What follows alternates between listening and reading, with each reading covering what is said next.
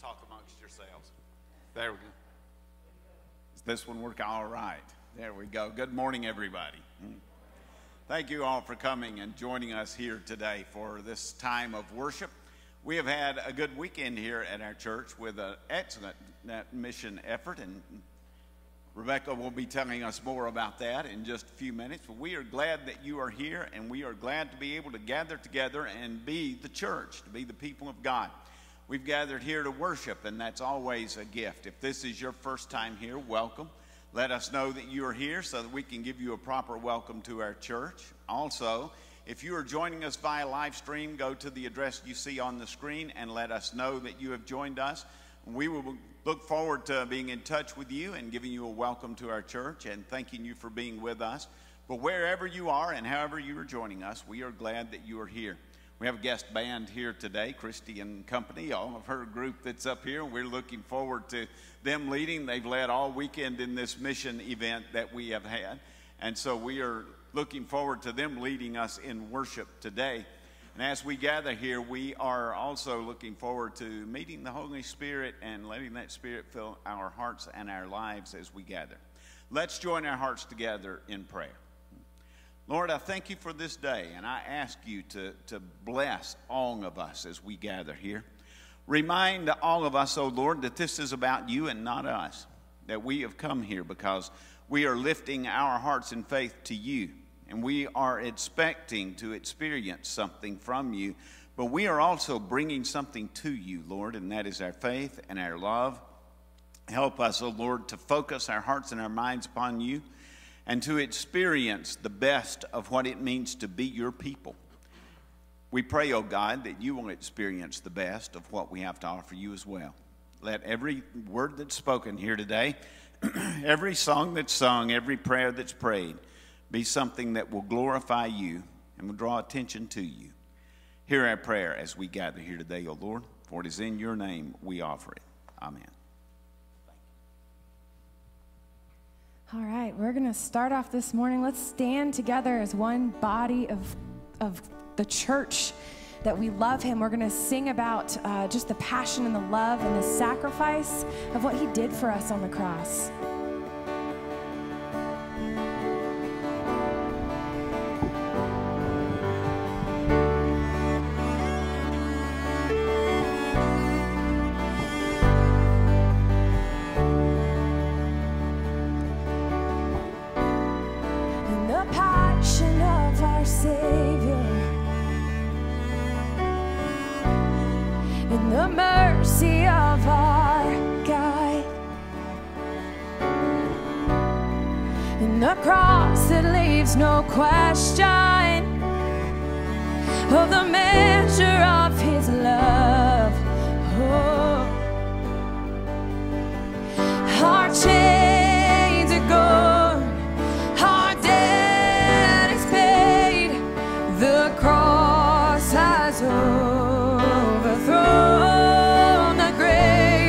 For Jesus' blood.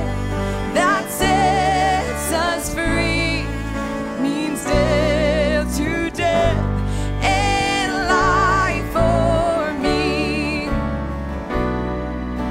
the innocent judged guilty for the guilty one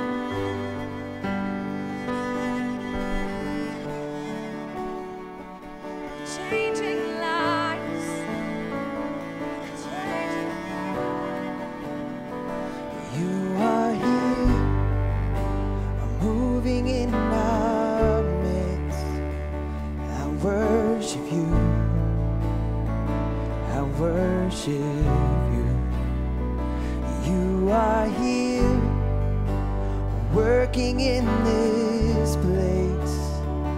I worship you. I worship you. You are here, moving in our midst. I worship you. I worship you. You are here, working in worship you. I worship you. You are waymaker, miracle worker, promise keeper, light in the darkness. My God, that is who you are. You are waymaker, miracle worker, promise keeper, light in the darkness.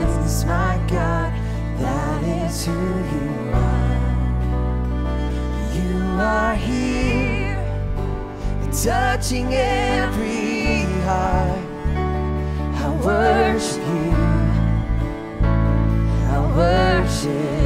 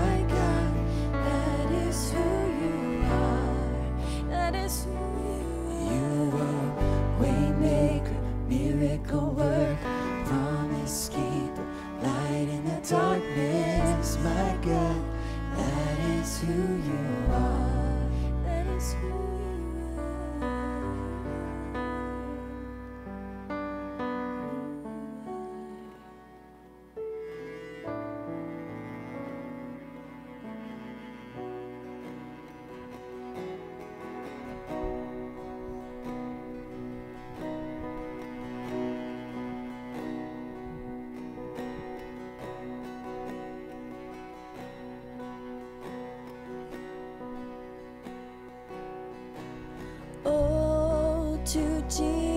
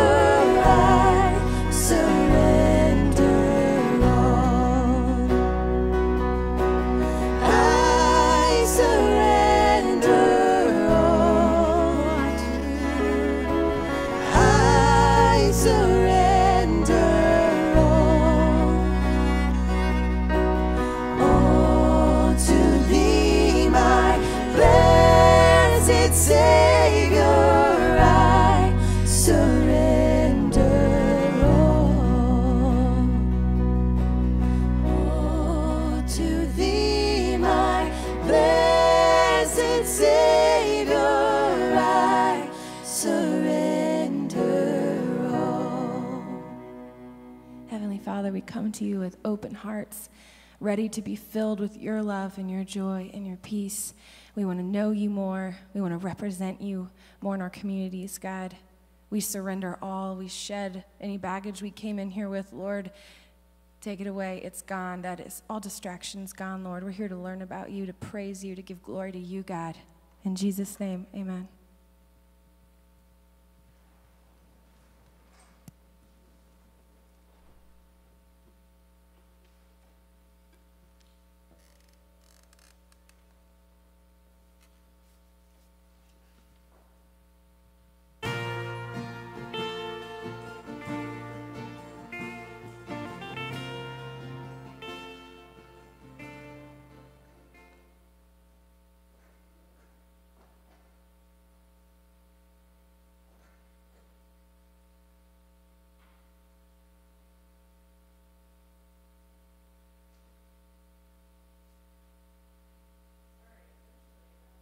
Together and get up on the stage. I'm like struggle bussing to get up here, so just a second. Thank you, um, Christy, and your band members and all your friends. You guys are incredible and amazing, and we just appreciate um, that you came and you were willing to share this weekend with us and willing to um, lead us in worship. I am going to be talking to you to this morning about some things that happened this past weekend, which was Mission Madness. Um, and so it's going to be a continuation of what we've been learning um, this past weekend. So, have you ever snoozed through an alarm? I'm talking completely snooze to the point of missing something really important, like a shift for work, maybe a wedding, school, or an urgent appointment. And when you do finally manage to get awake, whether it's due to someone calling you or physically coming in and shaking you awake, you realize what has just happened, that you missed that important thing. And so you start to feel a little bit of panic and almost a little stunned, and you just start to simply freak out. You jump out of bed, you throw off whatever's closest to you throw on whatever's closest to you, running around through your house trying to grab everything that you could possibly need. Cell phone, check. Apple Watch, check. Wallet, check. Keys, check. Mask, check. And you rush to get into your car feeling completely unprepared, praying you get all green lights on the way there. And when you finally arrive to your meeting, that's when it finally starts to sink in. Your outfit really isn't too great. Maybe you forgot to brush your teeth, or even worse, your hair. And so not only are you late for this appointment, but you're also feeling super gross, unprepared, and really insecure. There is nothing worse than over- oversleeping for something that's really important. Isn't it crazy how, even in these moments, we make choices to prioritize our cell phone, our wallet, our watches over things that are really important, like appropriate clothing, the necessary hygiene skills, or have I even eaten breakfast? A lot of times we may find that we're doing this as spiritually as well, that we prioritize things that we think are far more important over things that truly are important. We busy ourselves with the task in front of us, or we're just trying to get through our days successfully, being a good human. Or maybe we pack our schedules with meetings, Bible studies, and activities to the point that we are truly missing out on encountering God because we are so distracted by all that's going on within our lives. And so this morning, our scripture text is going to come from Romans 13, verses 11 through 12. You know what sort of times we live in, and so you should live properly. It is time to wake up. You know that the day when we will be saved is nearer, and now when we nearer now than when we first put our faith in the Lord. Night is almost over, and the day will soon appear. We must stop behaving as people do in the dark and be ready to live in the light. And some versions of that scripture says, "So let us put aside the deeds of darkness and put on our armor of light." This weekend, we had the opportunity to host a, host a Mission Madness site here at Blacksburg Baptist. It was a weekend that was filled with worship, service, and community. We have spent the weekend talking about what it means to follow Jesus. We discussed that what it means to encounter Jesus in such a way that we are literally awakened to a new way of life. We heard the story of Simon Peter found in Luke chapter 5. Peter has this encounter with Jesus that's so radical, so profound, that he and his friends abandon absolutely everything just to follow him. They went from being ordinary fishermen to the very first disciples of Christ. Their lives have been awakened by the Holy Spirit, and their lives were transformed through one encounter with Jesus Christ. We also took a look at a story, the story of Levi, the tax collector and how scripture records that Jesus went out of his way just to find Levi. Levi's industry was often used and abused and corrupt, and it included relationships with the Roman oppressors. These factors, plus the fact that the tax collectors were notorious for stealing people's money for their own wealth, made them the targets of contempt and ridicule from the people. Levi was a social outcast, rejected, hated, and considered both corrupt and evil. And yet we find a story where Jesus goes out of his way to ensure that Levi has an encounter with him. An encounter that would transform his life and awaken him to the spiritual things that were going on around him. It's within these two stories that we see two men who are just simply going through their mundane, everyday task, and they find themselves standing face to face with Jesus Christ, God in flesh. It's through these encounters that their lives become awakened to new life, that these men had an opportunity to wake up and follow Christ. They could have easily continued to hit snooze on their spiritual lives, continued to be caught, busied catching fish, or Levi, in Levi's case, continued to be a selfish and greedy thief in order to advance himself forward within the world. But both chose to wake up spiritually and follow Christ. They threw off their old deeds, their old ways of life, and they replaced it with this armor of light. A third story we visited this weekend was the story of Mary and Martha, also found in Luke. In this passage, we have two women. One, Martha, who is busy hosting a feast, taking care of the home, and making sure her guests are attended to. And then we also have Mary, who is sitting at the feet of Jesus among the men listening to the teachings of Christ. Martha was doing the things that she needed to be doing. In fact, what Martha was doing was considered ministry, and the Greek word is the same one used in Acts when they describe Stephen's ministry as a deacon. But within this passage of scripture, we see Jesus categorize what, has, what she has been doing as secondary to what, Mar- what Mary had been doing. And he furthers his point by saying, Martha, you look worried, you look distracted. But only one thing is important today, and Mary has chosen the good thing. Martha knew who Jesus was. She had already encountered Christ, and she already believed in who Christ was. She was doing what the societal roles of her time told her she should be doing. She was cooking and cleaning and taking care of her guests. She was fulfilling her ministerial role at that time, but yet Jesus places this secondary to what Mary was doing. Martha had missed it. She had missed the alarm in that moment. She had missed what Jesus was trying to do. She had missed the voice of God. She was so distracted by performing her ministerial duties, hosting the meal, and she just missed it. And now she was left feeling a bit out of place, insecure, anxious, worried, a tad bit jealous. But what she was doing was important, right? But not most important. No, scripture records that what was most important was what Mary was doing. Mary was encountering an awakening. She was sitting, listening, and basking in the presence of God. She was breaking all societal rules by doing so because it was not customary for women to be sitting at the feet of a teacher among the men listening. But Mary's actions showed the discipleship by breaking society's conventions in favor of loving Jesus first. Mary was willing to abandon her status, what people thought of her, and her societal roles to follow Christ. And because of this, her life was becoming anew. This weekend, we gathered here in this space. We gathered in this space to encounter Christ, to listen to the teachings of Jesus, to sit and to worship in his presence, to be made transformed and anew, to be awakened to a new calling to answer the invitation to be a part of something that was much bigger than ourselves, to abandon our fears and our worries and our mistakes and our past. And we heard the alarm sound, and we were awakened to spiritual renewal.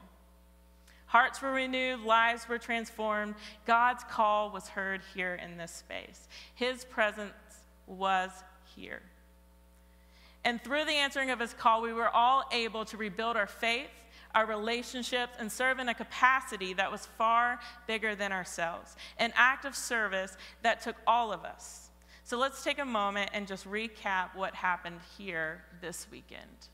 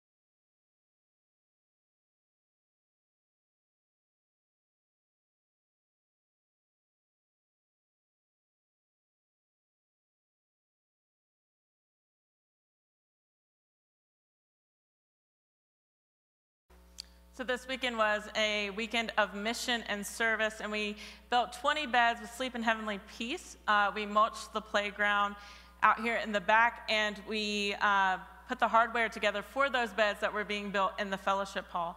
But it wasn't just a weekend of service, it was also a weekend of reconnecting, um, finding our hope and our joy in Christ again, and being able to have fellowship with one another. And so, the invitation is the same this morning. Today, that same alarm has been sounded. We've been given an invitation to answer the call of Christ, an invitation to wake up from our spiritual slumber and to be a part of something bigger than ourselves. The call from Christ is the same today as it was for Peter, for Levi, for Mary, and for Martha to come and to follow Jesus, to love God first and to love people second, to live a life that is kingdom minded, to become awakened spiritually to a new life. This pandemic has been awful. It's caused us all to feel isolated, disconnected, and a bit disheveled, out of place. We haven't truly felt quite the same, and we've lost our sense of connectedness to the body of Christ. And I think when we really stop to examine our lives and our hearts, then we can see all the places where it's beginning to show. We're anxious, we're tired, we're worried. We feel lost and without hope. Our joy has been robbed from our lives, and we aren't sure how to recover. But, church, it is time to wake up, to stop missing the alarm and start actively seeking to hear the voice of God in your lives again. It's time to re engage. It's time to reconnect back to the body of Christ, to answer his call. We are one body with many members, and right now all of our pieces feel a bit disconnected, and it's time to reconnect. We cannot complete this mission to the world without you. We need you. We need your gifts. We need your talents. We need your faithful voices speaking back into this community of faith. We need each other because together we can impact the world for his kingdom. God is moving here at Blacksburg Baptist in incredible ways. Transformation and renewal are taking place here in this space. The alarm has been sounded. The question is, what will you choose to do today? Will you choose to continue to ignore the alarm of the call of God in your life? Will you hit snooze a few more times and find out later on that you've missed out on some really incredible things, that you've missed out on some incredible moves of the Holy Spirit here at Blacksburg Baptist? Or will you wake up, throw aside all that's hindering you, and put back on your armor of light and follow Christ on this mission to transform the world? That's the question today. That is the invitation for you to be willing to hear the voice of God in this space, hear the call that He has on your life. And so, as we transition into another time of worship, I would ask that you would reflect on that. Center yourself so that you can hear the voice of God this morning and what He is calling you to. Because here at Blacksburg Baptist, we love you and we need you to continue being the light into the world. Let's pray together. Holy God, Lord, we give thanks to you for who you are. Lord, you are gracious and you are kind and you are good. And Lord, we know that each and every one of us has the same call on our lives to follow you, to love you wholeheartedly, God, and then to love people second. Lord, to live a life that is transformed and renewed, Lord, that we would impact the world for your kingdom's sake. Lord, I pray that as we reflect on our hearts on what's holding us back, what is keeping us disconnected, Lord, that I pray that your Holy Spirit will begin to transform us, Lord, renew us, God. Show us the things in our lives, Lord, that are keeping us away from being connected to the body. Lord, because there is a world that needs your hope, that needs your love, Lord, that needs to be shown your grace and your forgiveness. And Lord, here is the space where we find endless grace. Lord, this is the space where your presence is here, God. And we are able to be transformed and renewed, God. And so, Lord, I pray today that you would just move in our hearts, transform our minds. And Lord, that when we leave this space, Lord, when we depart from this space, God, that we wouldn't leave the same, Lord. Lord, that we would leave a new person, awakened spiritually. And I ask all this in Jesus' name, amen.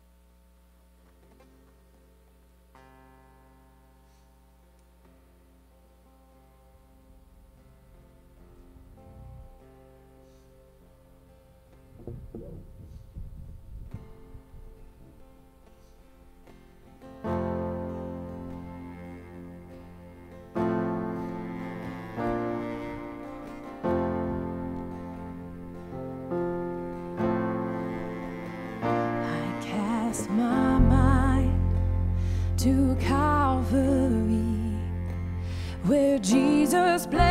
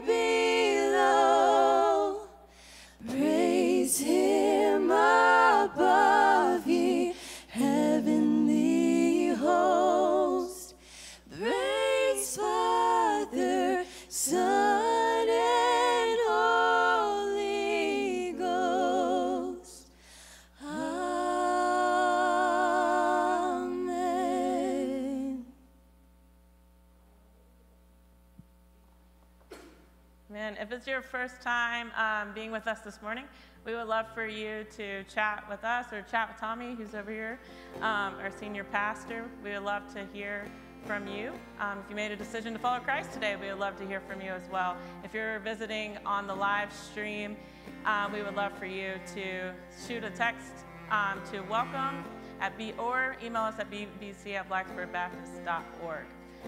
We are thankful that you are here.